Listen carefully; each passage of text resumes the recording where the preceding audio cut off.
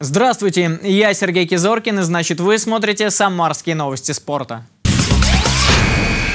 Подкачать бицепс и мышцы пресса, отработать баскетбольный бросок и, наконец, научиться подавать мяч за волейбольную линию. И это все на одной площадке в центре города. Новые тренажеры в городе, я нигде таких не видел.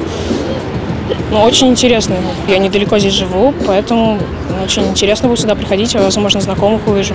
В сквере Фадеева, что недалеко от фонтанов Осипенко, открыли долгожданную спортплощадку. Все ее возможности тут же протестировали и сами спортсмены. Доски разлетались в щепки от ударов каратистов, а когда триалист перепрыгивал на велосипеде четырех человек, зрители замирали. Один из наказов наших избирателей было, чтобы установить здесь спортивную площадку, чтобы дать возможность ближайшим домам жителей из близлежащих домов заниматься здесь и утренней физзарядкой, и сдавать, конечно, нормы ГТО. До нее все, наверное, жители знают, что здесь была автостоянка.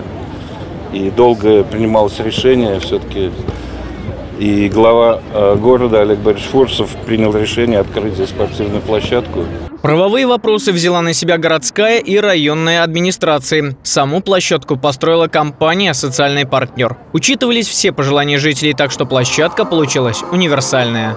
Мы буквально в этом году планируем открыть еще подобную одну площадку на улице Спенка, 18. Жители активно просят, чтобы именно на их территории была восстановлена площадка спортивная, которая когда-то была.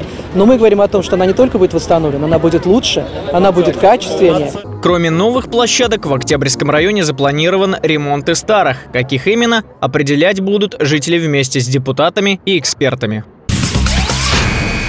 Это были новости спорта от Сергея Кизоркина. Будьте здоровы и занимайтесь физкультурой.